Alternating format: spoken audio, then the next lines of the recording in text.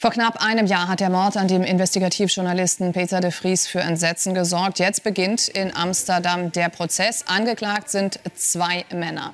Delano G. soll den 64-Jährigen am 6. Juli 2021 beim Verlassen eines Fernsehstudios niedergeschossen haben und sein mutmaßlicher Komplize Camille E. Er soll den Fluchtwagen gefahren haben. De Vries hatte sich einen Namen in den Niederlanden gemacht, weil er geholfen hatte, Kriminalfälle aufzuklären. Zuletzt war er der wichtigste Kronzeuge in einem Prozess gegen einen mutmaßlichen Drogenboss im Nachbarland Deutschlands gewesen.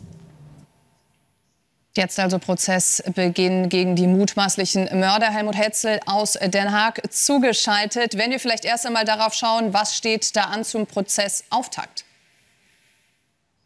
Also die Anklage ist ganz wichtig. Die beiden Angeklagten, Delano G., der 22-jährige Niederländer, ist angeklagt wegen Mordes. Er wird verdächtigt, Peter de Vries vor einem Jahr am 6. Juli abends um 19.30 Uhr mitten in Amsterdam erschossen zu haben, niedergeschossen zu haben mit fünf Schüssen. Und Peter de Vries ist neun Tage später, am 15. Juli letzten Jahres, an den schweren Verwundungen gestorben. Also die Anklage gegen Delano G., dem 22-jährigen Attentäter, mutmaßlichen Attentäter und Mörder, die lautet Mord.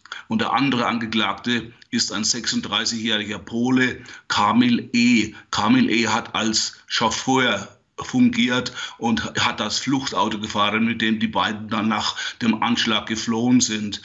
Und der Pole Kamil E. ist mehrfach vorbestraft. Er wird angeklagt wegen Beihilfe zum Mord. Das ist die Ausgangslage dieses Prozesses, der in Holland hier mit, äh, und Den Haag sowieso und in Amsterdam mit ganz großer Spannung erwartet worden ist. Die Niederlande, sie gelten als tolerant, sie gelten als liberal und man muss es aber so formulieren, wieder ist ein Journalist erschossen worden, und zwar auf offener Straße. Wie kann das in diesem Land eigentlich sein?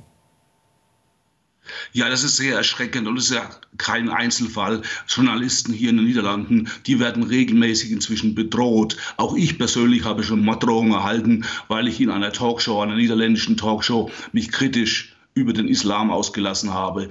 Wir Journalisten sind immer, immer mehr Opfer von Drohungen und Morddrohungen. Und im letzten Report der, der Reporter ohne Grenzen ist Holland auf der Liste der Länder mit der größten Pressefreiheit um über 20, äh, 20 Plätze gesunken auf Platz 26. Im letzten Jahr standen sie auf Platz 4.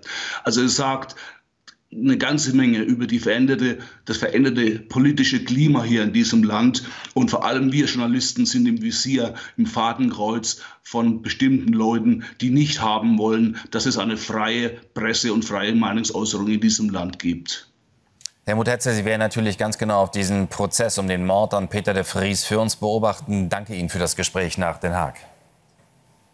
Bitte schön.